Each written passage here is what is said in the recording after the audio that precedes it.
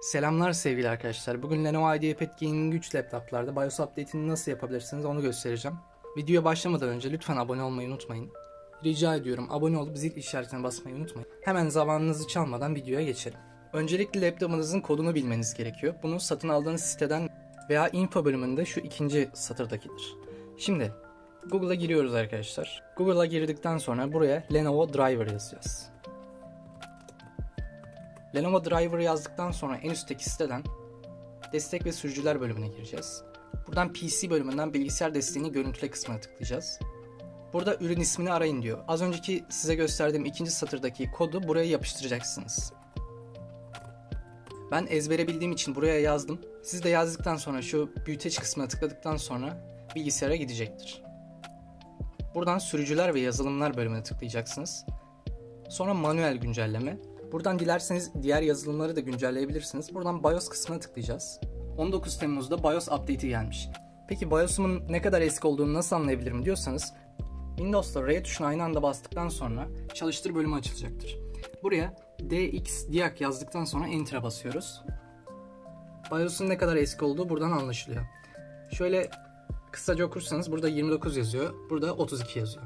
Her neyse bunu kapatalım. Buradan aşağıya geldikten sonra BIOS Update bölümü vardır. Buradan indire basıyorsunuz arkadaşlar. İndirdikten sonra klasörde gözükecektir. Buna çift tıklıyorsunuz. Evet diyorsunuz.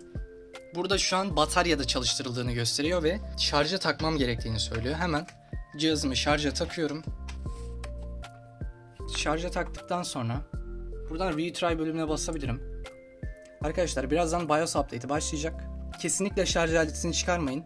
Ve hangi ilde yaşıyorsanız yaşadığınız ili Google'a yazıp elektrik kesintisi saatlerine bakabilirsiniz. Eğer ki BIOS Update'de elektrik kesilirse arkadaşlar büyük ihtimal anakartınız yanacak ve bilgisayar kullanılamaz hale gelecek. Bunu garantiye gönderdiğinizde kullanıcı hatası olacak ve bilgisayar çöp olacak. Yani kesinlikle elektriğin kesilmemesi gerekiyor ve aleti şarjdan çıkarmamanız gerekiyor. OK kısmına tıklıyorum.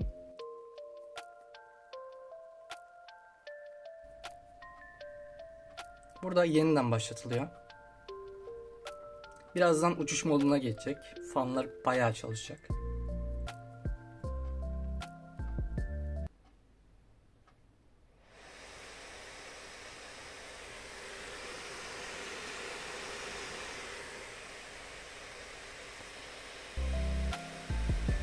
Bu bölümü kesmeyeceğim arkadaşlar. Size ne kadar sürdüğünü gö göstermek için hatta alta sayaç bile koyabilirim.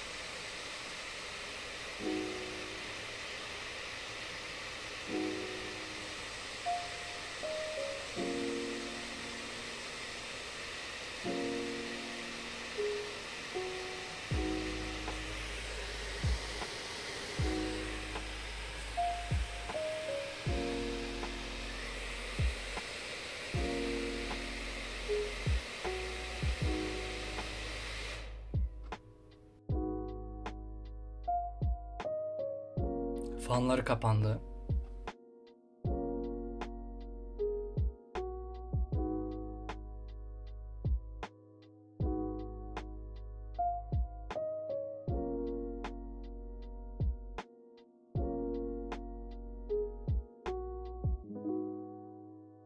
Burada arkadaşlar BIOS kendini yeniliyor.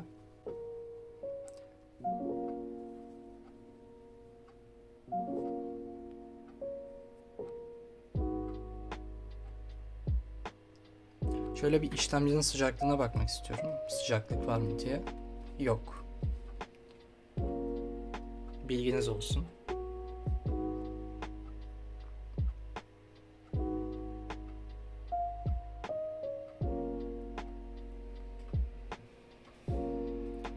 Bu arada arkadaşlar şurada yeşil bar var. Kameradan gözükmüyor olabilir. Kusura bakmayın.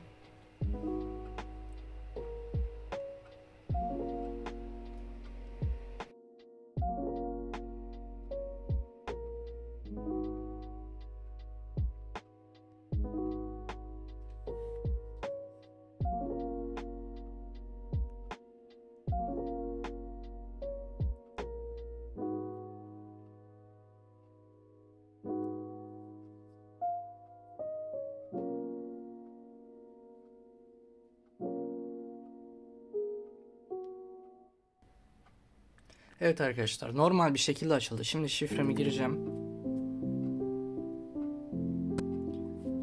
Gördüğünüz gibi açıldı. Hiçbir sıkıntısı yok.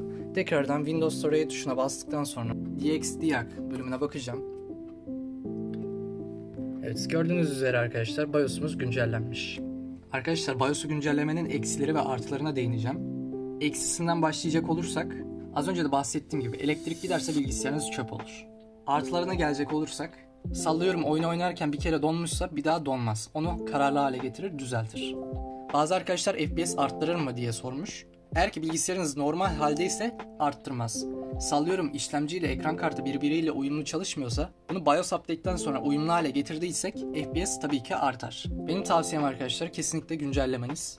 Evet arkadaşlar kısa bir bilgilendirici video oldu. Lütfen arkadaşlar abone olun lütfen rica ediyorum. Abone olduktan sonra zil işaretine tıklayın lütfen. Ve diğer videolarıma bakmak isterseniz aşağıya linki bırakacağım. Şu anki kullandığım bilgisayarın benchmarkını yani oyunlarda kaç FPS aldığını falan görmek istiyorsanız da tekrardan aşağıya bir playlist bırakacağım. Oradan görebilirsiniz. Arkadaşlar hepinizi seviyorum. Şarkı açıldı orada. Hepinizi seviyorum arkadaşlar. Görüşürüz. Yağmurlar yağsın